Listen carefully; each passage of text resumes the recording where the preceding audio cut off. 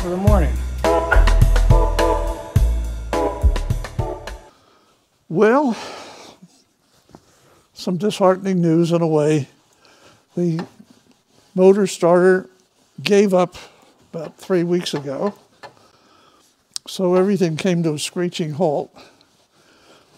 And then the latest batch of COVID did not help matters any either, so all of us have stayed away from this place for a couple of weeks.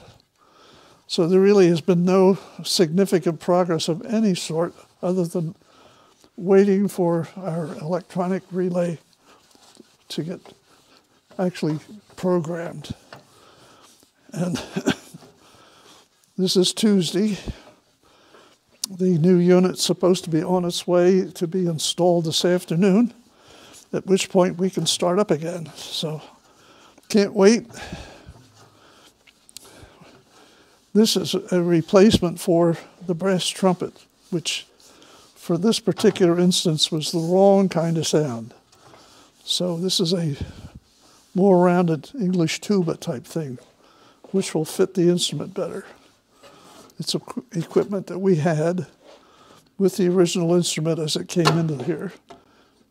And uh, it would not have been enough down in the pit. Where it's going to be used now, it will be our crowning reed for the organ. So I'm, I'm looking forward to it's actually getting in place. Part of it is in upstairs already, and uh, this is just to clean up to make them look respectable after 100 years of dirt and accumulated whatever on the surfaces.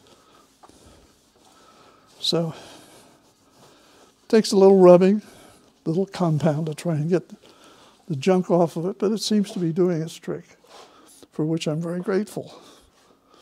Thank you.